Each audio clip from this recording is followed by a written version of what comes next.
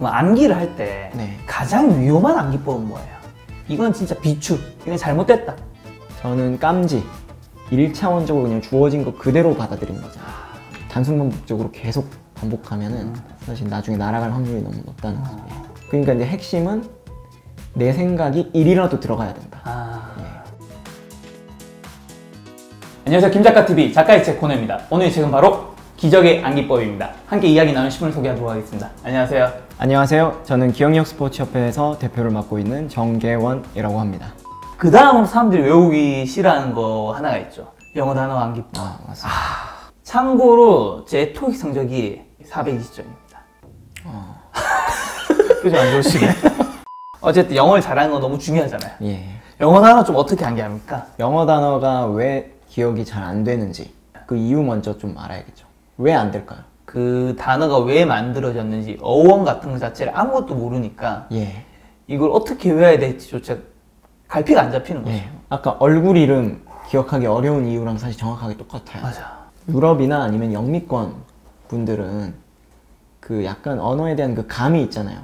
우리도 한자 문화권이기 때문에 새로운 단어를 접해도 사실 그 단어가 주는 느낌을 알 수가 있단 말이에요. 네. 대충. 근데 전혀 이게 문화권도 다르고 하다 보니까 어, 이 단어가 왜 이 뜻이지? 전혀 납득이 안 되죠. 제가 아까 얼굴 이름도 연결고리를 만들어야 됐던 것처럼 네. 영어 단어도 똑같습니다. 이제 가장 대표적인 거는 이제 어원 같은 거죠. 음. 네, 그걸 다 알고는 있는데 사람들이 그걸 안 찾아보더라고요. 이 단어가 왜 이 뜻이지를 먼저 물어보셔야 되는데 네네. 스스로 네. 그걸 전혀 하질 않아요. 근데 물론 이제 그게 학습자들의 잘못이라기보다는 네. 우리 학습 환경 자체가 뭐 학원에서 야, 하루에 40개 외워라. 네. 못 외우면 집에 안 보내준다. 그냥 받아 쓰고. 예, 예, 그러니까 이게 정신없이 일단 때려 박아야 되잖아요. 네. 다음날 되면 다 까먹고. 10개라도 이 단어가 왜 이 뜻일까? 이 질문을 한번 던져봐야 되거든요. 뭐 예를 들어서 이제 펄저리, 위증죄 음. 이런 뜻이에요. 그럼 보통 어떻게 오냐면 펄저리, 위증죄, 펄저리, 위증죄. 맞아, 맞아, 맞아. 맞아. 네, 바로 시작하죠. 바로 연불 외는 거는 펄저리, 위증죄, 펄저리, 위증. 계속 하잖아요.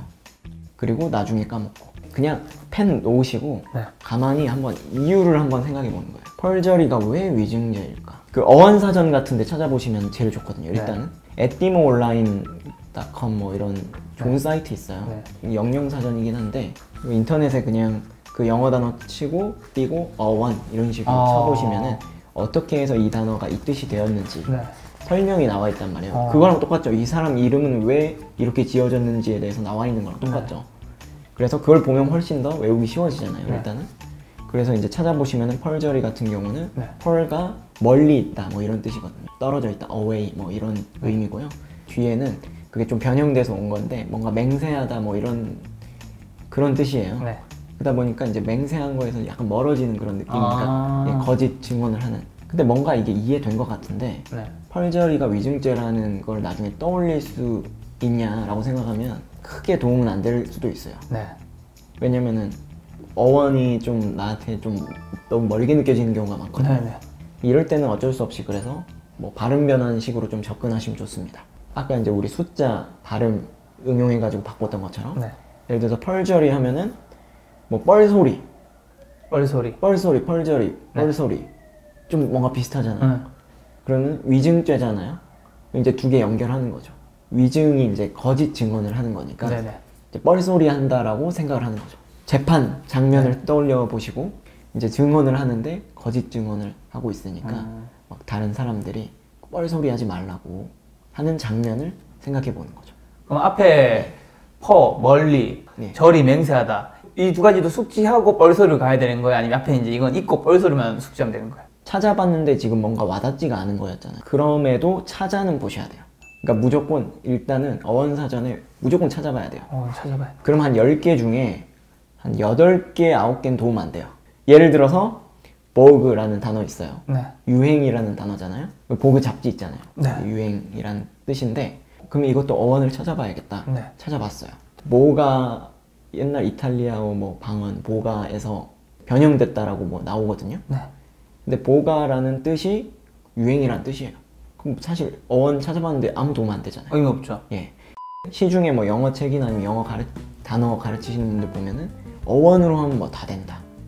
이러시는 분도 있고 뭔가 약간 이렇게 발음 변환식으로 해서 말로 재미있게 연상해서 연결해서 하는 식이 최고다 이렇게 하시는 분들 막 나뉘잖아요 사실 아무 의미 없는 저는 논쟁이다 이렇게 생각하는 게 어. 그거는 사람마다 다르고 단어마다 다르고 다 다릅니다. 그러니까 내가 어느 정도 어원 이식을 갖고 있는지에 따라 다르고 아. 그 단어가 예 어느 단어인지 이거에 따라 다 다르기 때문에 결국은 이제 내가 그 컨텐츠를 만들어야 되는 거거든요. 예를 들어서 vogue 같은 경우에는 네. 어원 찾아봤는데 별로 도움이 안 되니까 안 되니까. 발음으로 해서 뭐 보고 보고 자꾸 본다. 어. 예, 자꾸 보인다. 그러니까 유행이다. 근데 이렇게 하면 그냥 문장이니까 장면으로 하나 만들어줘야죠. 그러니까 뭐 롱패딩을 다 입고 다녀 겨울에. 아. 그래서 아 롱패딩 자꾸 보고 보고 자꾸 보이네. 그 장면 아 유행이다. 아. 란 장면으로 좀 마지막에 생각해 주시면 좋죠. 또 다른 예를 한번 보면은 repose. 네. repose. repose라는 단어가 이제 휴식 취할 때 이제 그런 뜻인데요. 이제 요것도 당연히 찾아봐야겠죠. 그 어원을 왜 찾으려고 하는 거죠? 이 단어가 왜 생긴지 알고. 그렇죠. 이 단어가 왜 이 뜻인지를 알려고 그렇죠. 스스로 물어본 거잖아요. 바로 시작하는 게 아니라 어, repose는 왜 휴식이라는 뜻일까? 일단 이제 어원사전 찾아보면은 re가 이제 뭐 뒤로 뭐 이런 뜻이거든요. 뒤에 포즈가 우리 포즈 취한다 할 때 그 포즈 뭔가 몸을 어디에 위치하거나 둔다 그런 뜻이거든요. 네. 그래서 이제 뒤로 두는 거죠 몸을. 어. 그럼 휴식이네. 그렇죠. 아, 이건 어원으로 외우는 거군요. 요거는 어원으로 해도 바로 들어오죠. 그러니까 이게 단어마다 다른 거고 또 근데 어떤 분은 포즈라는 게 그 뜻인지 잘 모른다. 네. 예를 들어서 뭐 북에서 내려와가지고 아. 전혀 그런 단어 안 써봤다. 네. 그럼 공감 하나도 안 될 거 아니에요. 네. 포즈. 그러면 이제 다른 방법을 또 찾아야겠죠. 아. 어쨌거나 중요한 거는 이 단어가 왜 이 뜻인지 나만의 빈약한 논리라도 만들어야지 이게 들어오는데 무조건 그냥 단순 반복적으로 계속 반복하면은 사실 나중에 날아갈 확률이 너무 높다는 거죠. 그럼 암기를 할때 네. 가장 위험한 암기법은 뭐예요? 이건 진짜 비추. 이건 잘못됐다. 저는 깜지, 예, 깜지 쓰는 거 있잖아요. 손 운동하는 거죠. 계속 쓰는 거. 예. 그러니까 차라리 뭐 소리 내서 뭔가 노래를 만들어 본다든지 얼마나 능동적으로 내가 이 컨텐츠에 참여하느냐 그게 기억에 많은 영향을 준다고 생각하거든요. 제가 주어진 정보를 그대로 받아들이지 않고 네. 뭔가 편집을 한다는 거죠. 내가 받아들이기 쉽게. 네. 예, 혹은 그 의미를 살려서 살리기 위해서 찾아보거나. 그러니까 결국 능동적으로 한 번이라도 접근을 해야 되는데 그냥 계속 받아 적는 깜지는 네. 일차원적으로 그냥 주어진 거 그대로 받아들이는 거죠. 아무런 나의 생각에 개입이 들어가지 않고. 그래서 깜지가 안 좋은 거군요. 그렇죠. 근데 뭐 노래를 만들어서 막, 막 신나게 불러본다. 그러면은 내가 알고 있는 노래라도 들어간 거잖아요. 그러니까 이제 핵심은 내 생각이 일이라도 들어가야 된다. 아, 이 달달 외우는 게 네. 단순 반복이라서 그게 안 좋다고만 생각했는데 내 생각이 들어갈 공간이 아무것도 없는 거죠. 그렇죠. 그냥 손만 진짜 운동을 네네. 하는 거죠. 그러니까 연결이 하나도 안 되는 거죠. 그래서 이 단순 반복이 의미가 없는 거고. 예. 우리가 공부는 두 축이잖아요, 사실. 한쪽은 이해인 거고, 예. 한쪽은 이제 암기잖아요. 그렇죠. 이 이해와 암기가 너무나도 중요하다는 걸 사실 우리 모두가 알고 있는데, 근데 암기는 그냥 달달 외워. 이런 식의 멘트들이 굉장히 많았던 것 같거든요. 네. 좀 효율적으로 사실 해야 되는 거잖아요. 되게 중요한 그렇죠. 거니까. 예. 근데 왜 그런 게 없었을까요? 어, 저는 역설적으로 우리가 암기식 교육이다 보니까 오히려 역설적으로 암기에 관련된 방법은 제대로 배우지 못하고 진행된 게 아닌가. 너무 외워야 될 게 일단 당장에 많은 거예요. 제가 항상 얘기하는 게 잠깐 아직 하지 말고 아, 좀 이제 관망을 해야 되잖아요. 이제 전략도 짜보고 어떻게 하면 효과적으로 한번 외워볼까. 맞아, 맞아. 어떤 방법을 쉽게 외울까. 이걸 해야 되는데 그냥 바로 시작하고. 급한 거지. 그렇죠. 빨리 외운 거예요. 너무 많으니까 할 게. 그러니까 오히려 외울 게 너무 많다 보니까 그 생각할 틈을 안 주는 거죠. 아까 보여드린 암기법은 어떻게 보면은 단순 반복적으로 때려 넣는 게 아니고 네. 내 생각을 넣는 거잖아요. 오히려 생각하는 방법이거든요. 암기한다 보다는 그냥 기억한다, 떠올린다, 이렇게 생각을 하죠. 사실 우리나라는 진짜 암기식 교육이었는데, 네. 그 암기하는 법을 제대로 알려준 적이 잘 없네요. 출판사분께서 이런 얘기를 하시더라고요. 시험 살면서 몇 번이나 볼 것 같는. 엄청 많이 보죠. 대충 계산해 보면은 100번 본다 이거예요. 그쵸, 초중고, 예. 그래, 중간고사, 기말고사, 그렇죠. 수능, 뭐 기타 등등. 네, 직장인 돼서도 보고, 예.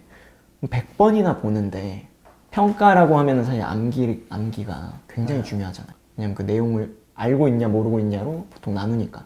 어떻게 보면 가장 중요한 방법일 수도 있는데 네.